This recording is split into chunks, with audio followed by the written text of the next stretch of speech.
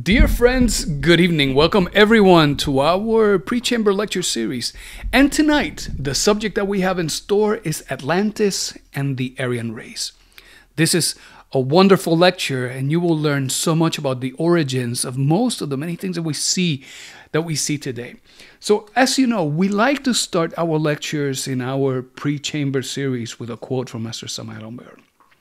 And in his Christmas message, the year 1967 to 1968. Samael said, The existence of Atlantis has been thoroughly demonstrated by the true wise ones who have, every now and then, walked amongst us. This is a beautiful statement because we find so many commonalities in the cultures around the world that have an origin in the very ancient Atlantean wisdom of the god Poseidon, of the god Neptune. Good example of this are these two great men that you're seeing on the screen. On the bottom left, we see Atlanteotl. And Atlanteotl appears in the, the, the Codex Borgia. These ancient codices are phenomenal pieces of wisdom these are books that have been written in in leather skin and they have been written in such a way with symbols and with colors that when the ancient ones explained them, they would say we would see them and we would even perceive the music that comes with the teaching. So Atlanteotl appears in the Codex Borgia. And in the Aztec culture, in the Maya culture, those names that end in that OTL, otl, that means God. It means deity. It speaks of a great master. And Atlante, well, certainly refers to Atlantis. So Atlanteotl is that god of Atlantis. And notice how he appears here bearing in his back the weight of the waters of creation. But because this culture in Mesoamerica started at around 11,000 years before the era of Christ, and at around 3,000 years before the era of Christ, they started uh, agglomerating and, uh, and becoming more of an organized uh, society. They are the predecessors of the figure that you see on the right, which is the Greek god Atlas.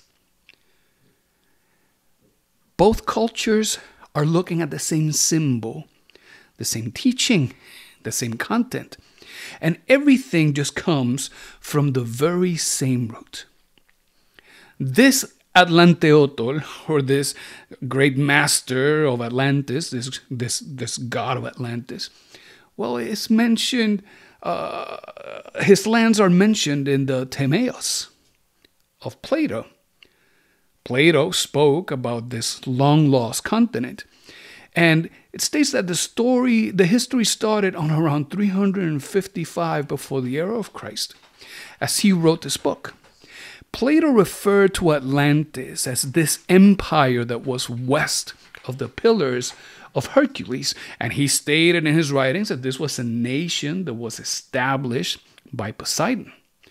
Well, today we don't have images of what this city may have looked like, but there are some very beautiful artistic renditions. And we, as we were looking for the best images to show you, we came across this image resembling what would be the capital of Atlantis as described by Plato. But Plato mentions Poseidon. And as we observe Poseidon, well, those of you who have been participating with us for many lectures, uh, we, we like to we like to uh, highlight the symbols and speak about the meaning of the symbols themselves. Well, notice how Poseidon appears with the face of the Ancient of Days. He has long hair and he has that long beard and that beard with those curls, usually 13 curls, speak about the Ancient of Days or the Father of our own innermost, of our own spirit. Notice that he is holding onto a trident. And this trident, with those three tips, those three little spears, are always a symbol of the three primary forces of creation. Those forces being the Father, the Son, and the Holy Spirit. And depending on where we find ourselves in the world, those three primary figures would be Brahma, Vishnu, or Shiva, or they would be Horus, Osiris, and Isis. And notice that he is also sitting on a stone, the same stone of the philosophers that is spoken about in those ancient medieval texts of alchemy. So, whether we refer to him as Poseidon or Neptune, notice that we are speaking of the same deity. We are speaking of the same master, and whether we refer to them as gods or deities or masters or angels or devas, we are speaking about the same thing. We're speaking about great masters who work in favor of humanity.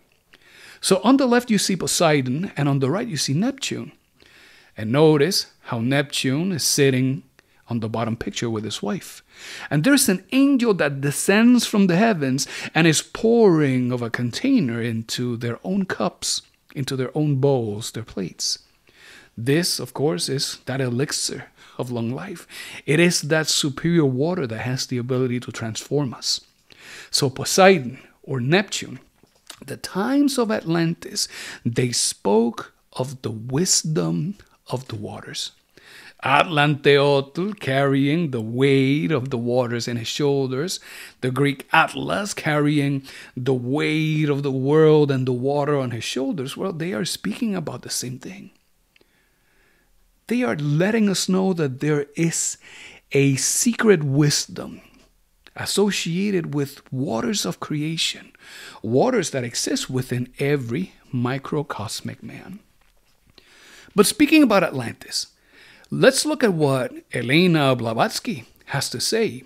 She wrote in her anthropological stanzas The third race gave birth to the fourth. The Suras became Asuras. And those from the third and the fourth grew in their pride, claiming, We are the kings, we are as gods. And they built great cities. And the waters submerged the seven islands. The worthy were saved, and the unworthy destroyed. Now, the third race is the great Lemurian race. This is a race that existed in the long lost continent of Mu, west of what is now South America. The fourth race is the Atlantean race. A civilization that existed in a lost mass that sunk within the waters of what is now the Atlantic Ocean. And when Blavatsky speaks about suras and asuras, when she uses this word, suras means gods. It means masters. It means great men, true humans, people who had developed a perfect balance between their spirit, whom, and their mind, manas, whom manas or humans.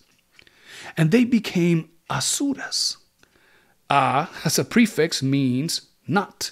So the gods lost their divinity. The great men fell, just as the stories that we have seen on the on the exit of Adam and Eve from the Garden of Eden. And she continues by saying, The fifth race was all created from the holy stem and was governed by divine kings. She speaks now of us, we who are all part of this Aryan race, the fifth great race. And she says that we in the beginning were governed by divine kings, by great masters who were able to survive some kind of catastrophe, and they came to bring that wisdom. And so she continues by saying, And the serpents returned and made peace with the men of the fifth. And they educated and instructed them. Those serpents are not just serpents that crawl, but she is referring to those masters who knew about the great mysteries of fire. Those ancient mysteries that came to be taught later eh, by the Babylonians and the schools of Mithra and the ancient schools of Egyptian mysteries and the Druids and the Mayas and the Chaldeans, etc. These are referred to as serpents because they spoke of working with an internal fire, a fire that is known as the fire of Kundalini. A fire that, when awakens and becomes liberated, looks like a serpent of fire within the constitution of man. And she refers to them as serpents because those masters who came to work were masters of perfection. They were devoured by the serpent because they were able to eliminate every inferior aspect within them, and as a consequence, this divine fire flourished within each and every one of them. About this particular story that Blavatsky speaks, there is a translation of a Maya manuscript that is part of the collection of Le Plongeon and Troano manuscripts that exist in the British Museum. And the translation says, In the year of Sixkan, 11 Muluk, in the month of Serg, terrible earthquakes occurred which continued without interruption until 13 Chuen. The country of the mud hills, the land of Mu, was sacrificed. And after two shocks, it disappeared during the night being constantly shaken by subterranean fires that caused the earth to sink and reappear several times and in various places. At last, the surface gave way and 10 countries separated and disappeared. They sank 64 million inhabitants 8,000 years before this book was written. We see the Maya teaching being used several times. And we see this teaching associated with not only this long lost event that is even mentioned in the book of Genesis, but Master Samael Aun Weor, speaking about the Maya wisdom, he comes to tell us that the great Master Jesus spoke in Maya that he, at the moment of being crucified, as part of his final words, he uttered words of wisdom that were part of a very ancient Maya tradition, of a Maya practice, perhaps a mystical practice. And he said, Eli, Eli, lama sabachthani, which has a very profound meaning because as he exhales his last breath, well, the translation of that is, Father, I now lose myself at the preamble of your presence. We share this with you because as we transition here in this virtual historical tour for through the lands of Lhasa in Tibet, here in Tibet we come across some very interesting teachings and writings that are associated both to this global event and also to the teachings of the great master Jesus specific to this particular event associated to Atlantis, there is an ancient Chaldean inscription that reads When the star of Baal fell into place where now there is only sea and sky, that is the area of the Atlantic Ocean. The seven cities with their golden gates and transparent temples trembled and trembled like the leaves of a tree shaken by a storm. But it says more. It says, And behold, a billow of fire and smoke rose from the palaces. The screams of agony from the multitude filled the air. They sought refuge in their temples and citadels of the wise man, Mu. The priest of Ramu appeared and said to them, Did I not predict this to you? And the men and women covered with precious stones and shining garments cried out by saying, Mu, save us!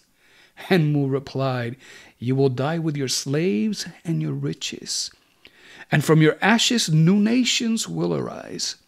And if they, referring to us as this new nation, this new race, and if they forget that they must be superior, not by what they acquire, but by what they give, the same fate will befall them. And flaming smoke drowned the words of the Master, and the land shattered and sank with its inhabitants into the depths of the sea in just a few months. This Atlantean catastrophe is well explained as that story of the universal flood in the book of Genesis.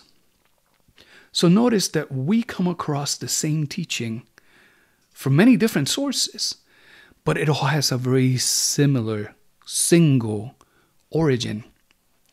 To this, Samael says, upon reaching these depths of etymology, the studying of the origin of all these words, the soul of history, and one of the most powerful keys of gnosis, we could never stop remembering that famous phrase of the Maya ritual language that literally says, Eli Eli lama sabachthani, and that the four evangelists interpret esoterically in four different ways.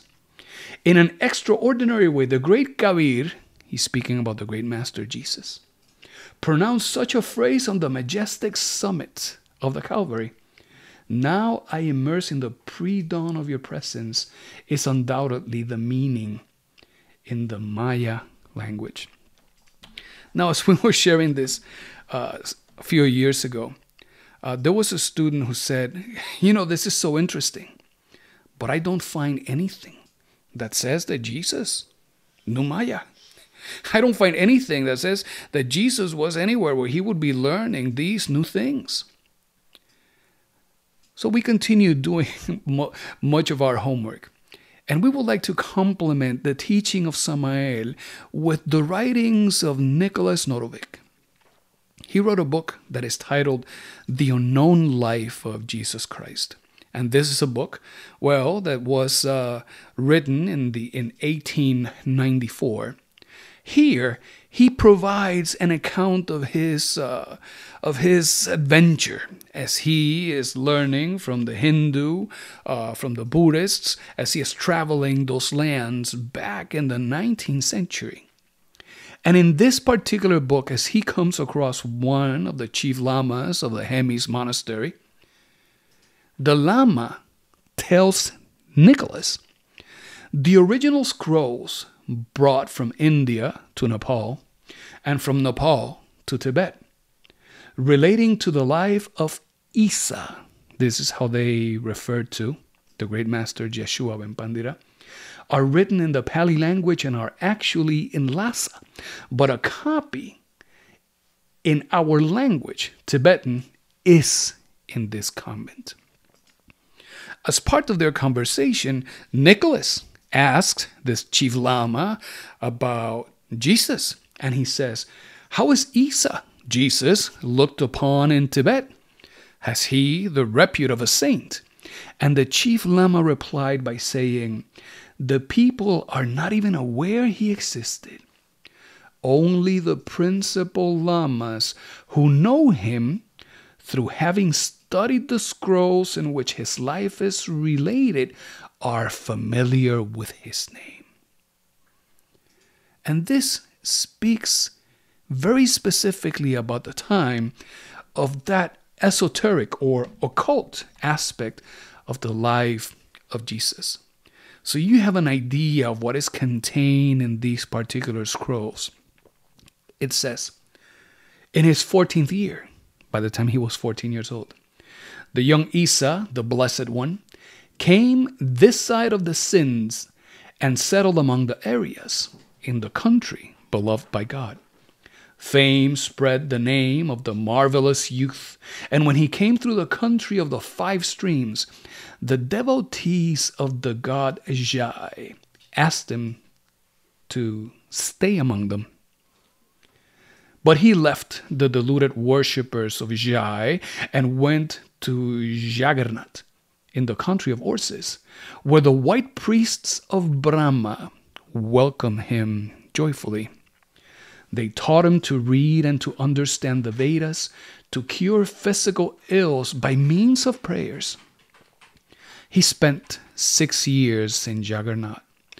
The common people loved Isa, for he lived in peace with the, Vaisa, with the Vaisyas and the Sudras, to whom he taught the Holy Scriptures. And this is what Jesus was doing at the age of 14. There is so much more good content. But because this is just for information and this is not part of this wisdom of gnosis that Samael unveils, we're going to just set this aside and leave the curiosity to you, the students, if you would like to learn a little bit more. But let's go back to this subject matter of Atlantis because we see that there are many, many, many analogies. And for example, when referring to the deity, to God, we see that it is referred to as Dios in Spanish, or Dio in French, or Deus in Latin. It is the Chinese Tao, it is the Teotl of the Nahuas. There is common wisdom here. Same thing happened with those concepts of the mother and the father that we refer to so often in terms of the divine mother and our divine father who is in secret. Whether we refer to it as father or pater or vater or padre or pa, we know that that is the father. When it comes to the mother, whether we say mer or mother or madre, maya, or we say mater, we are always referring to the same. So notice that this wisdom comes to us. And as we receive it, we have an opportunity to capitalize on these many commonalities, to extract the wisdom that is available to us. Dr. Paul Schliemann, he wrote a book titled How I Found the Lost Atlantis. And in his works, he speaks about the lost treasure of Priam that he came across in Troy. And he narrates in his writings that he came across a vase with an inscription that literally read, From the king Kronos of Atlantis, and that this was written in Phoenician characters. And there were similar vases that were found in Tlahuaca, in Central America, in the lands of the Mexica. Also, many coins that were minted, stamped as issued at the temples of the transparent walls, coins that were found in many jars. And to this day, well, this article that we share here, well, it dates back almost 20 years ago, November of 2005. But it speaks about an American archaeological team that spoke about a discovery of what they referred to as definitive evidence of an underwater ancient harbor remains that exist at two separate locations at Bimini. And they say stone anchors identical to ancient Phoenician, Greek, and Roman anchors were also found in this location. So, this is, of course, of such interest.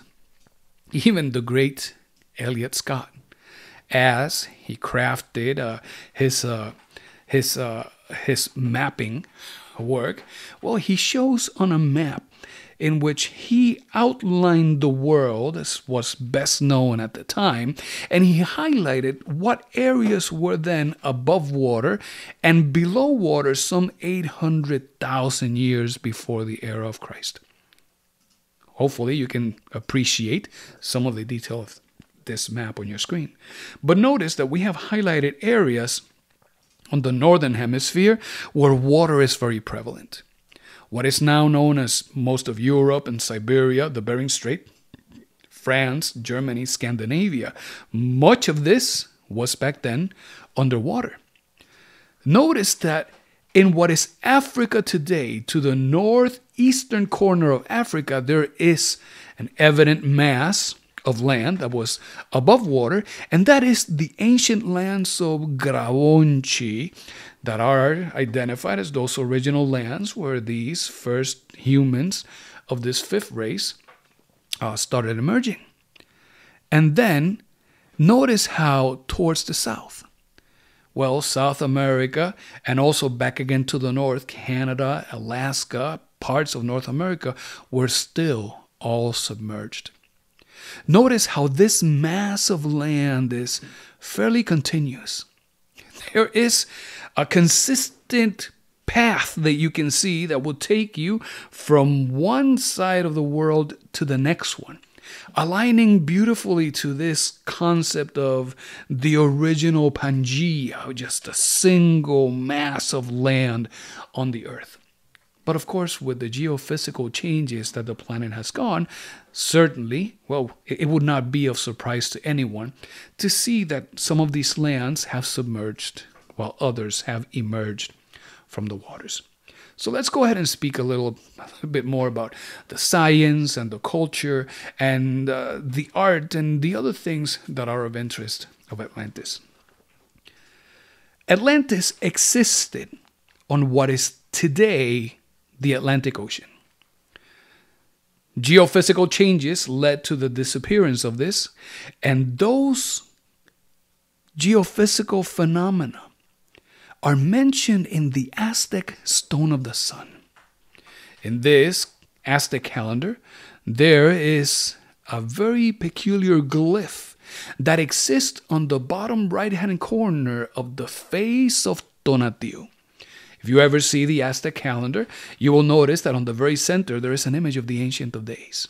You will see the face of this old man with wrinkles under his eyes, opening his mouth and the tongue of flint extending from his mouth to indicate that divinity creates with the power of the word the same thing that the Apostle John writes in his gospel. And to the bottom right hand corner, we see that there is a rain a fire of water, which is Atonatiuh. This son of water is that particular event that manifested on the earth that led to the submergence of this continent. In the very same way, there is Coahuitl Tonatiuh, there is Ocelotl Tonatiuh, etc., which are the previous eras, periods that brought to an end the first three races that existed in on earth. This particular catastrophe that brings to its demise the land of Atlantis, well, it did not manifest overnight. There was a first catastrophe that took place roughly around 800,000 years before the era of Christ. And then there was a second catastrophe that took place around 200,000 years before the era of Christ. And then a last event that is the one mentioned in all of these passages we have been seeing today that happened around 11,000 years before the era of Christ. Dear friends, this event is the great flood that Moses speaks of in the book of Genesis. This universal deluge is exactly this particular event that the Aztecs referred to as Atonatiuh on the stone of the sun. And there is an author. We're sharing this as complementary information because this is not a book of Gnosis. But there is an author named John White who wrote a very interesting book titled The Pole Shift. And in his book, White speaks of glacial ages. He speaks about pole shifting. He speaks about scripts, wisdom that is captured within the crypts of the lamas, ancient maps, geographical charts that speak of Atlantis. He was able to source many of these discoveries that exist documented, well documented within the Library of Congress, and he speaks of findings, archaeological findings that are of a remarkable nature. That if, as they become public they will they will be in conflict with the existing numbers timelines and theories that speak about the origins of man. Nevertheless a very interesting book. But again he speaks about ancient maps and he speaks of these geographical charts. What do we know about the atlanteans? We know that in terms of their physicality they were very different from us Today, the average height, depending on where you stand in the world, could be anything uh, close be- between five and a half to six feet of height. But the typical Atlantean was of around three meters in height, and three meters is closer to nine feet.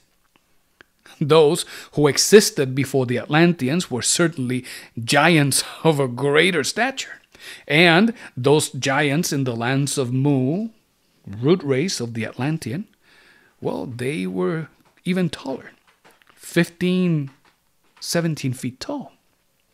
But the Atlanteans, just like the previous three root races, also went through four particular eras, four particular ages. Same thing that has happened to us as the Aryan race. They went first through an era of gold. And the era of gold is an era of splendor of any humanity. In an era of gold, there is direct contact with divinity.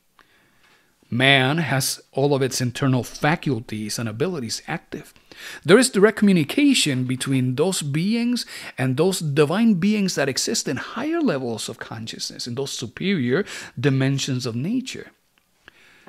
But moved by the laws of evolution and involution, which are two sister laws that keep all cycles of action in motion, they transition from an era of gold to an era of silver. And in the era of silver, we start seeing the emergence of the ego. Those humanities still have their faculties and their abilities. They can still communicate with beings from superior realms of creation but different than in the era of gold, where there is no distinction between what is mine and what is yours. No distinction between my land and your land, between my country and your country. In the era of silver, we start seeing those initial conflicts. As the ego continues to harden, they transition into an era of copper. This era of copper, well, it starts showing that there are fallen humans humans who start losing their abilities, humans who become disconnected from their innermost. This is identical to the story that we see in the Garden of Eden, where Adam and Eve were expelled from that paradise. And as that degeneration continues, conflict increases. Now we start seeing wars. Now we start seeing bloodshed. Now we start seeing the use of superior abilities for dark purposes. And then we get into the era of iron. And the era of iron is always known as the era of the goddess Kali. Kali, just like Hecate, just like Proserpina, well, is an aspect of the Divine Mother, the third aspect. And she is terror of love and law. Kali is the goddess of the underworld, and thus the era of Kali or the Kali Yuga is the Iron Age of every civilization.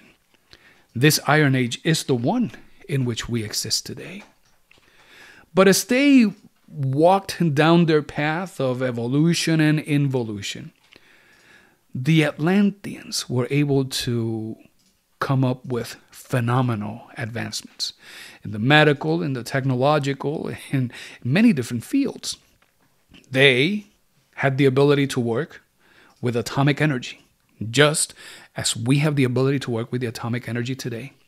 They had the ability to work with the transplants of organs from one body onto the next one, same as we have the ability to perform those phenomenal medical feats today.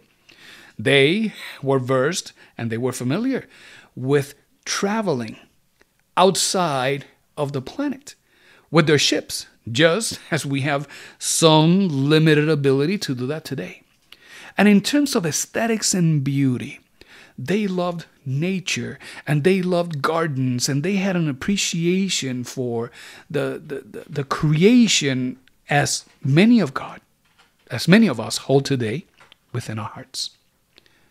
But a little different back then is that there were different creatures used for different purposes. You can see here a beautiful image of Cybele, and she is being pulled in a chariot of gold, but what is pulling her are two great lions. Lions at the times of Atlantis were domesticated. Well, today we don't have that, but we have, of course, horses. And among the Atlanteans, those wise men, as we uh, learned earlier about the great master Ramu, well, those great wise men were part of a society. It was called the Alcaldana Society. And these men were speaking in epicene terms, men, including both men and women. These wise men, well, they educated their people and provided the wisdom that was shared in the equivalent of what would be today's universities. They were very familiar with Hermetic astrology and they would receive the new creatures and be able to read the influence of the stars and help those creatures identify their vocations. So, as they came onto the earth, assuming these physical forms, that they would be able to satisfy the mission of their being that they would be able to collaborate and sacrifice for their for their social groups for their families and always for the betterment and the benefit of others. Atlanteans also knew about robotics. And what we have today with machine learning and artificial intelligence, and as of late, thanks to those experts at OpenAI, the many different flavors of GPT, well, they also were able to bring an intelligence into their robotics but different than us, that it is an intelligence that is artificial and that it is based on, on algorithms and software. They were able to transplant the soul of plants, the elementals of plants, and move them from the body in which they existed as a plant and and grant them this new artificial body of this robot and these became servants in many opulent homes. And similar to what we have today with an Alexa device or whatever other electronic device we may have, these particular mechanical servants with the soul of an elemental of nature would provide them information about weather conditions, about impending disasters, about things that they should take care of. But not everything was splendor and beauty. Because they learned to use, to make use of the atomic energy, well, eventually they used that atomic energy for nefarious purposes, just as we humans have done. John White, in his writings, in his book The Pole Shift, he speaks about an archaeological finding in the lands between the Tigris and Euphrates River, where several meters below grade level, that there is a layer of glass made from that sand. And at first, when discovered, they believed that it could have been just the impact of lightning that creates this uh, strange serpentine pattern that where the sand melts and crystallizes.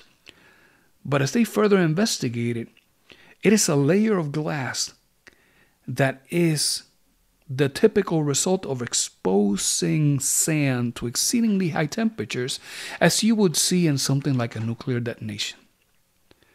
So the Atlanteans were involved in these concepts of mass destruction and war.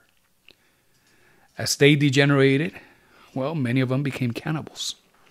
As those sacrifices were made in many temples, well, those Poor creatures were sacrificed, their blood was spilled, their organs were harvested to be able to be transplanted somewhere else, and the bodies were tossed to the multitudes, and they will take those bodies and eat them under the belief that they would be receiving the essence of that young soul, that they would benefit from that, and cannibalism was part of their degeneration. But all of this degeneration eventually has to stop. And the very same event where Ramu is telling them, Didn't I tell you that this was going to happen? Well, Manu Vaivasvata, the great biblical Noah, he was one of those, indicating these are the times of the end. There is a change that we must effect within ourselves. There is a hidden wisdom that we must put into practice. There is an internal transformation that we all must embrace. But similar to these days, where people listen to such advice and they laugh or they reject they think it's silly, unnecessary. The same thing happened. And eventually, the catastrophe arrived, and those who did not listen, well, they perished. The Atlanteans, as we know, became a fallen civilization. There was profanity of religion. The name of God was used for many purposes except divine purposes. There was abuse of the sexuality just as much as we can perceive and evidence the abuse of sexuality that we see today among us humanoids. The capital sins were there, rampant, just as today. Well, we all carry within all of these elements of not only anger and vengeance and rancor, but ambitions and greed and envies and lusts and laziness and prides, etc. Two men who existed back in Atlantis, of names Macari Conversión and another one, Armanitora, they initiated a movement that helped create a, a chasm, a split within the minds of Atlanteans. They developed these concepts of good and evil, of good and bad, furthering any concepts that existed at the moment and furthering developing those concepts to create divisiveness, separateness, something that exists so much today, whether it is economical or political or religious, etc.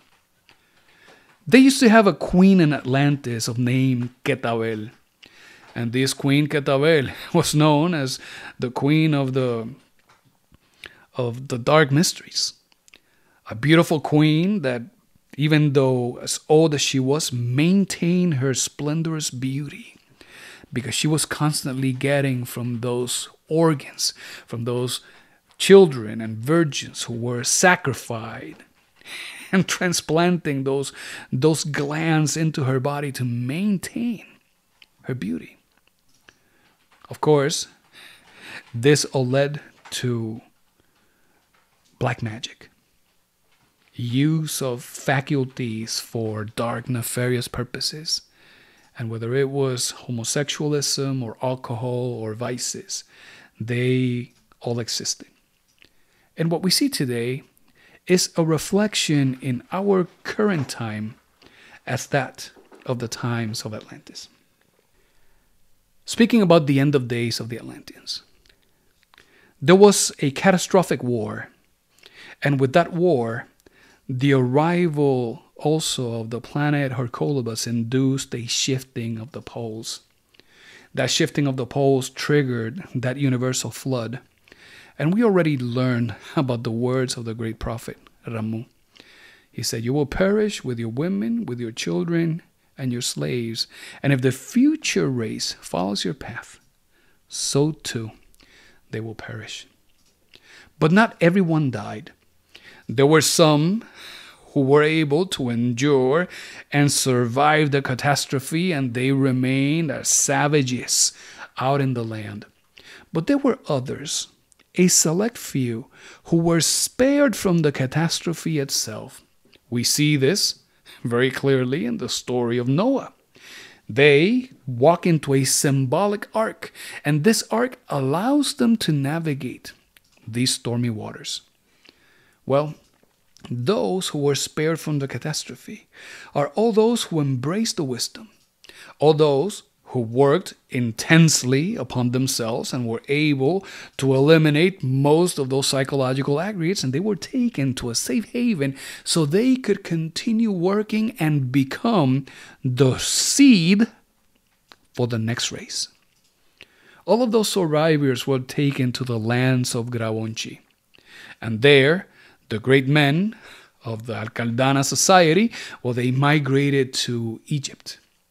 In the writings of the great Hermes Trismegistus, the thrice great god Ibis of Thoth, he states that he is called upon the presence of the seven, and he descends into the halls of Amenti, and the great masters, the lords of creation, tell him, Take your men and your ships and go to those lands and educate those men.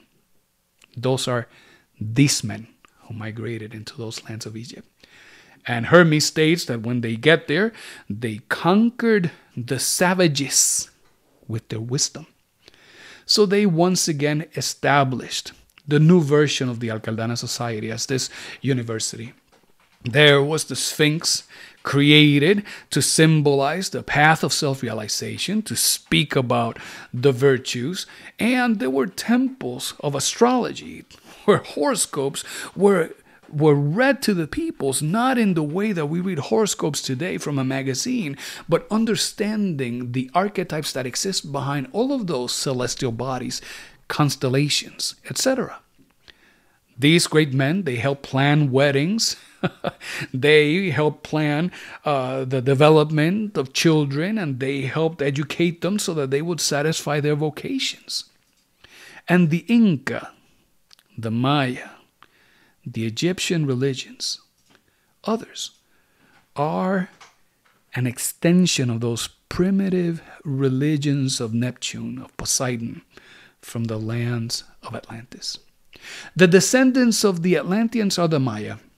The Maya, well, they migrated to Tibet, to Egypt, to Central America. Back then, the configuration of the, the surface of the planet was different. And so, we find the Maya language used in many sacred rituals at Tibet. We have already learned from Master Samael Aun Weor the words of the great master as he is crucified when he says, Eli, Eli, lama sabachthani.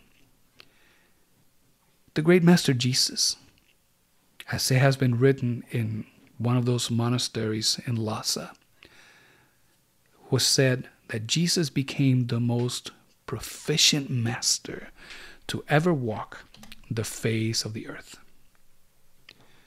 And now that we spoke about the Atlanteans and we spoke about their end, well, now that we are here in this fifth Aryan race, it is important that we all know that every race has an expression, and the expression of such race, any race, is of giving birth to seven subraces.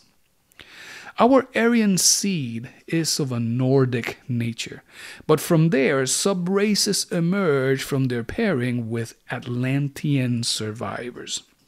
And we see the first subrace, and it crystallized in that plateau of Central Asia. Then we see a second subrace as time continues its march. And this one, we see its evidence in the pre Vedic and the Hindustan splendors.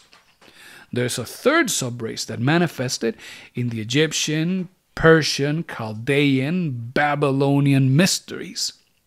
There is a fourth root race that we see in Greece and Rome, a fifth root race that came to be at the times of Germany, England, and other countries as they manifested their splendor, and then a sixth root race that manifested itself at the times of the Spaniards and those interactions with the Indo Americans. Now, the seventh root race, which is the final one, is this cultural melting pot that we are experiencing in North America, particularly in the USA. But there are only seven. And this indicates that here in this great fifth Aryan race, you and me, our children, our grandchildren who are growing up, we are all part of the last subrace of this great race. And all of the great masters have spoken about the end of times. They have all spoken about the need for us to embrace a change. This is commonly known as the, the change that the world needs is in you. To also more profound teachings from schools of regeneration that speak about bringing about the birth of virtues by eliminating what is unworthy in you. And of course, the sacrifice for others. Secret, secret teachings that speak about working with a hidden power that exists within you. Creative waters that, when you transform them, they have the ability to bring about and materialize faculties, powers, abilities, bodies, laws, all of these things that together make up a radiant solar soul, not a lunar soul that is ghost like, like the one that we have today. And this should invite us to reflect on our current condition. Samael says it best, says it's best when he says, We are currently living our seventh subrace, and this is worthy of reflection. So, dear friends, this is what we wanted to share with you tonight. This lecture has been Atlantis and the Aryan race. Thank you, everyone, for giving us an opportunity to spend this time with you. To everyone, have a good evening, and may all beings be happy. Have a good night.